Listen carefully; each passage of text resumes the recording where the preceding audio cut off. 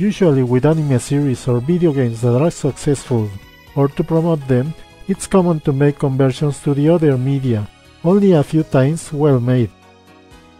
This only one episode anime is an adaptation of an action and fighting game that explains and tells the story between the two games of this series, in which the protagonists Hikari and Mai Tsurugino work with the agent Doro from the demon world to protect our world from the troubles the demons make. To be able to make this task, they transform into Makendo, using the ones Doro gives them, getting special powers to attack the demons. And they end up crossing paths with Aisan Kamioji, who was turned into the cyborg Makenka, against his will, like Dr. Matt, which all of them fight because he is the most wanted criminal in the demon world and the only one who can turn back Aisan to normal. This animated short has the peculiarity of mixing the magical girls with kendo, when having the girls that fighting style in their battles.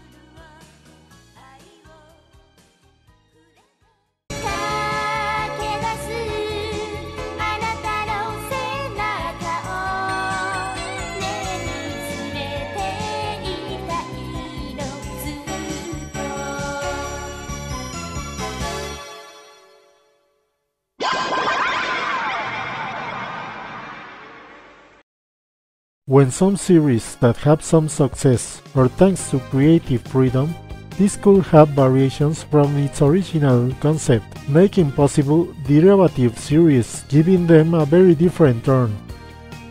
This is the case with Pretty Sammy, a series based on the characters from Tenchi Muyo, centered in Sasami as the magical girl, Tsunami as her guardian, and Ryo-Ohki as her companion animal, initially only conceived in parodical tone.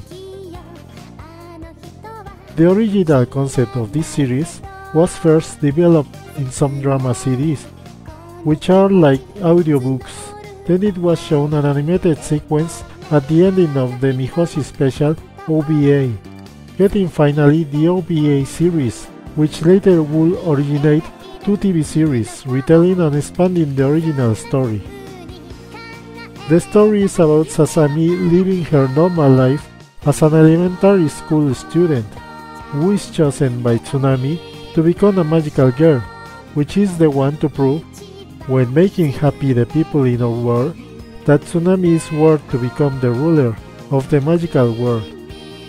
But because Tsunami was chosen over Ramya, this one starts to make it hard for Pretty Sammy when turning Sasami's friend, Misao, into the magical girl, Pixie Misa, will become her enemy, making creatures that Sasami has to fight. This series, when being a variation as a parody, it doesn't develop a very complex story and uses on the story the established relationships between the characters from the series it comes from, giving some relevance to the love relationship between Sasami and her brother Tenchi, which disappears on the TV series when changing the roles of many characters.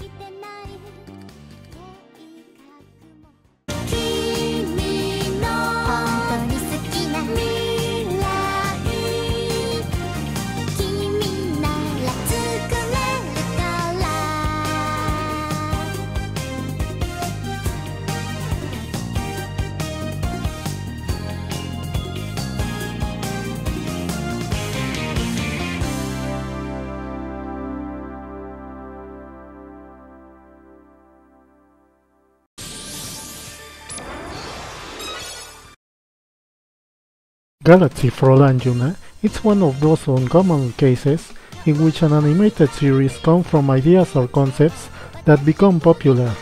In this case, from the illustration of Gundam 10 Custom Girls, created by Mika Akitaka. From the popularity of this illustration, it's created a video game series, among with two OVA series, that tells the story of the protagonist, Yuna Kagurazaka, who is perceived as the legendary Light Savior, which as other Fräuleins, she protects the galaxy from the destruction in the hands of the forces of darkness and chaos. Yuna is always accompanied and helped by her best friend Yuri, who is an insatiable glutton, which when Yuna needs it, she can do superhuman feats.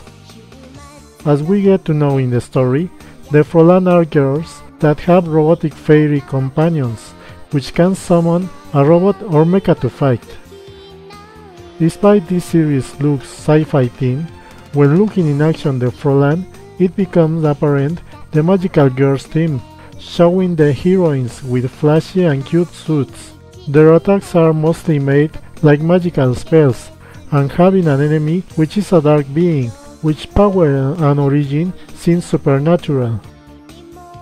We can note that this series is a mix of space action and comedy, having very often silly situations, like the one that makes Yuna being a huge fan of the heroine, Polilina, Yuri with her everlasting hunger, and many other reactions that the characters have because their comical personalities.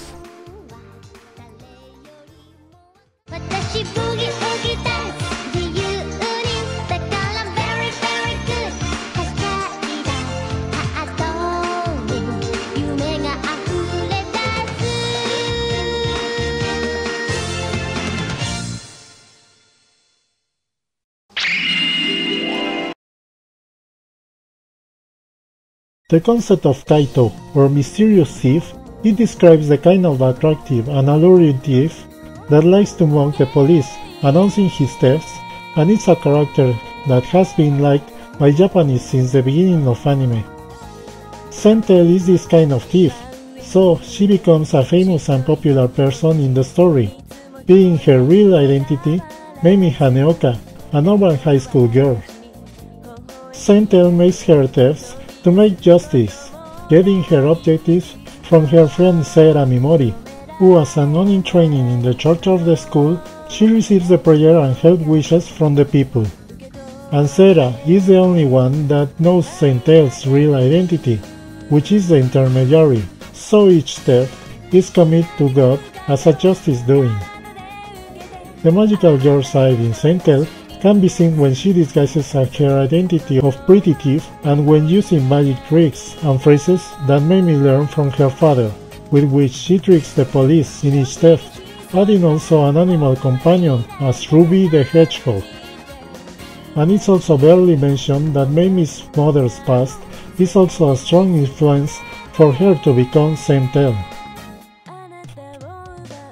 As usual with these thief stories, Saint Tail besides being chased by the police, she has her own enemy, who ends up being her classmate Daiki Asuka, which everyone calls Asuka Jr., making reference to the fact that he is the son of the well-known detective Asuka. And it begins this enemy relationship between him and Saint Tail, when he entrusts her capture by the mayor, becoming a friendly rivalry relationship that sometimes turn into love. This is how this series has an adventure theme, being the center of the plot the love relationship between Meimi and Asuka Jr.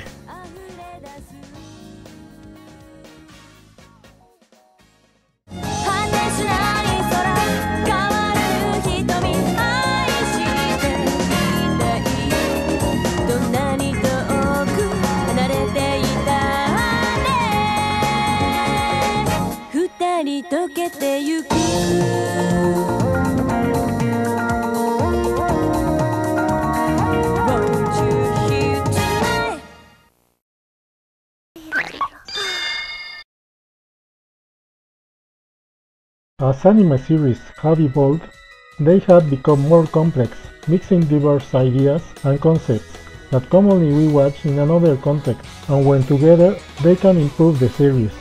Mahoutsu Tai makes this, telling a story where the shonen, comedy, and magical girl genres are combined in an OVA series and a TV series. The story begins with a mysterious alien cylinder that they call the Bell that comes to invade the Earth, being the armed forces of the Earth unable to do anything at all.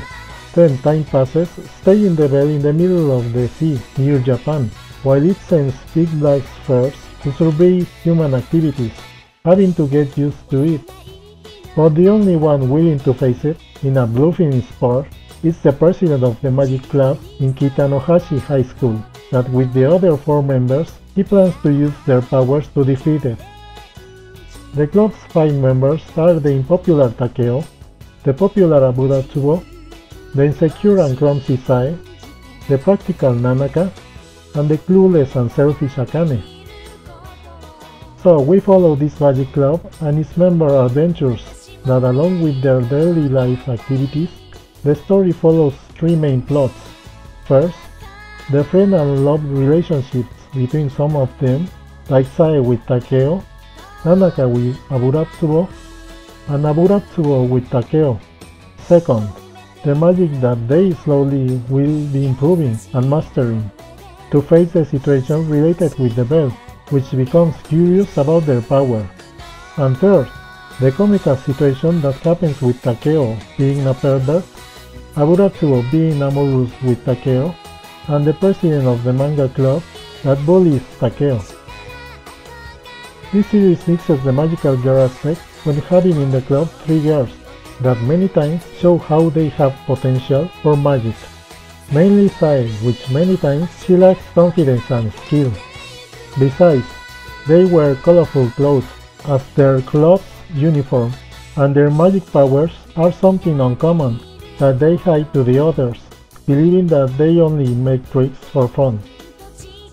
It's important to mention that most of this series is Junichi Sato's work, director to many remarkable series like Sailor Moon and Kaleido Star, which is clear in this series being a good combination of a well-written story, fun characters, and a well-done animation.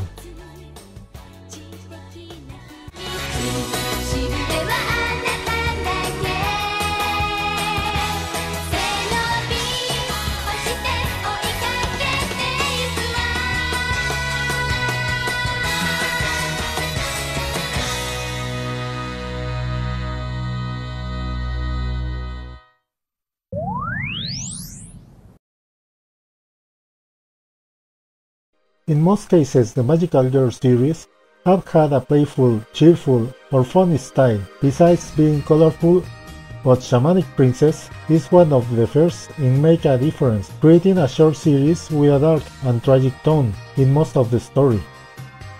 This is the story of Tiara, some kind of witch that, along her animal companion, Japolo, they are sent to retrieve the Throne of Yor, which is an item with great magic power that was stolen by Kagetsu, who had the duty of protecting and guarding it. When Tiara finds it, she ends up meeting Lena and her companion Leon, whom they were given the same mission by the elders. But while Tiara wants to complete her mission quickly and without troubles, Lena, besides delaying her mission, shows some complicity with Kagetsu. And all this matter turns more complex because Tiara, Lena, and Kagetsu were once good friends, taking Tiara into account that there must be a good reason for their actions, thinking how she must act according to her duty, her love, or what is fair. Besides, Tiara gets in contact with Kagetsu's sister, Sara, within her dreams, discovering that she is trapped by the throne of Yor after doing her job as its guardian. This short OVA series shows good quality in every aspect, making good character development within a well-made story with a strong audiovisual design, displaying a lot of creativity that can be seen in the different environments, the characters' interactions, their diverse magic, and the attractive character designs, something distinctive by Atsuko Ishida, famous by her work in Magic Knight Rayearth. This series despite showing both males and females with magic powers, the girls are the main ones whom besides having their own magic that they use with invocations, they have their magic companions or servants that support them in their missions. And many things in this series are so original that they appear in later series like Lyrical Nanoha and Zen October for example.